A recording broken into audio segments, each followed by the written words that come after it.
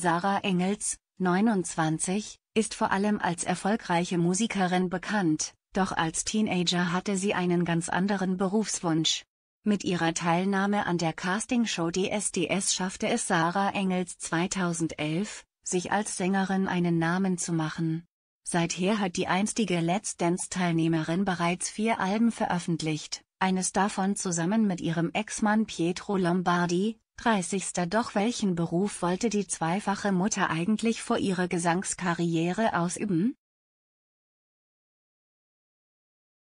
Ich wollte damals Eventmanagerin werden, verriet die 29-Jährige jetzt ihren Fans im Rahmen eines Q&A auf Instagram. Aber was hat die zweifache Mama so sehr an diesem Job gereizt? Es war immer meine Stärke, viel und gut zu organisieren, erklärte die Love is Love Interpretin. Zudem habe ihr die Vielseitigkeit des Berufs gefallen.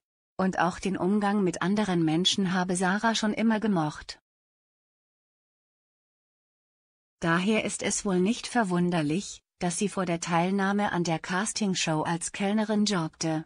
Mein erstes Geld habe ich mit 5 Euro die Stunde in einer Pizzeria verdient, erinnerte sich Sarah vergangenes Jahr in einer Fragerunde auf Instagram.